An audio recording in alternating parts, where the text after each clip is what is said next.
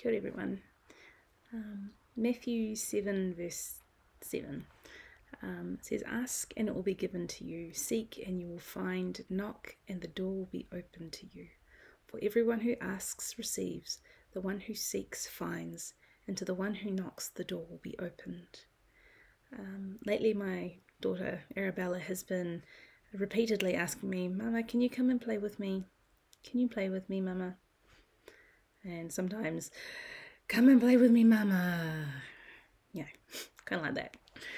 And just her persistence reminded me of one of the parables that um, jesus um, talked about in luke 18 and it said then jesus told his disciples a parable to show them that they should always pray and not give up he said in a certain town there was a judge who neither feared god nor cared what people thought and there was a widow in that town who kept coming to him with the plea Grant me justice against my adversary.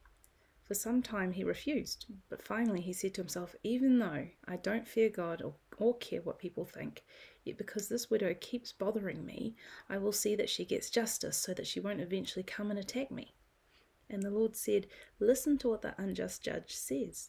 And will not God bring about justice for his chosen ones who cry out to him day and night? Will he keep putting them off? I tell you, he will see that they get justice and quickly returning to Matthew, it um, Jesus went on to say, "Which of you, if your son asks for bread, will give him a stone, or if he asks for a fish, will give him a snake? If you then, though you are evil, know how to give good gifts to your children, how much more will your Father in heaven give good gifts to those who ask him?" Be persistent, like Arabella. Come and play with me.